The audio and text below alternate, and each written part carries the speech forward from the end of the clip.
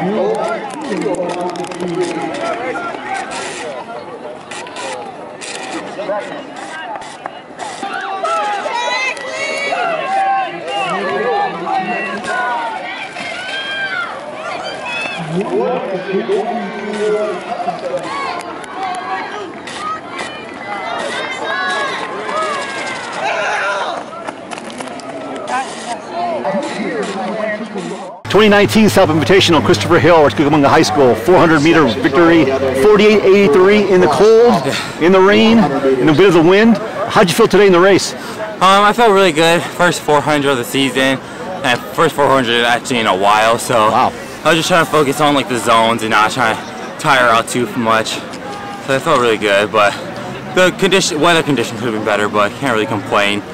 Given the fact you hadn't done the 400 in a while, were you kind of surprised with your time, or did you thought you could run this? What'd you think? Um, I was aiming for at least a high 48, low Okay. 49 since I haven't run in a while.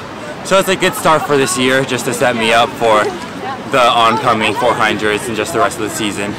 You mentioned later on today you're supposed to do the 200 and the 4x4, but you might scratch the two because of the elements here. Yes.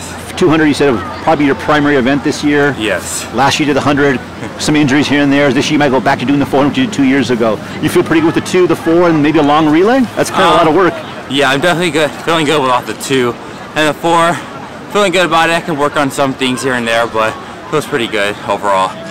Do you have a primary goal for yourself for the 200 this year, whether Um, it be time or achievement? Definitely to stay again and win it, and then time-wise, probably a low or mid 20 point. I mean, Okay. You're going over to New York, the Armory, in a couple weeks for the New Balance Indoor Nationals. Yes. What's the goal there?